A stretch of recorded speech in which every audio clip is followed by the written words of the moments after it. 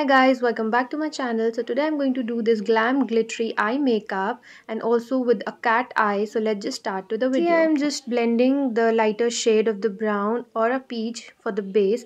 Next I'm starting with the little darker shade as you can see. थोड़ा सा dark shade मैंने outer corner से और हमेशा मैं outer corner से ही start करती हूँ. Now just I'm applying a glitter over here or a shimmer you can say a golden shimmer.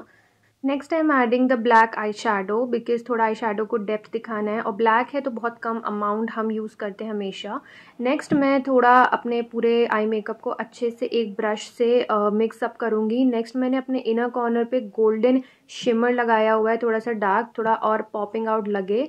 Then eyes uh, का जो हम लिड बोलते हैं वहाँ पे मैंने प्रेस्ड uh, ग्लिटर लगाया हुआ है। यू कैन सी बहुत लाइक like, सिर्फ़ सेंटर पे लगाना है। नेक्स्ट मैं अपनी लोअर लास्ट लाइन पे brown basically it's a lip liner so मैं ब्राउन एड ऑन कर रही हूँ और उसके बाद मैंने डार्क आई शेडो से उसको ब्लेंड करा है अच्छे से। इनर कॉर्नर पे भी सेम जैसे मैंने ऊपर आई मेकअप किया है, वैसे नीचे भी किया हुआ है।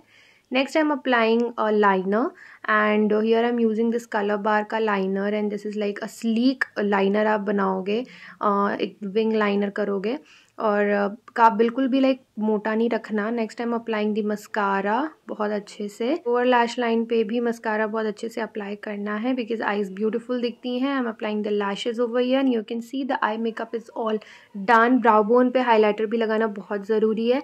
So I hope you like this video मज़ा आया हो तो like share comment subscribe and I am going to see in the next video bye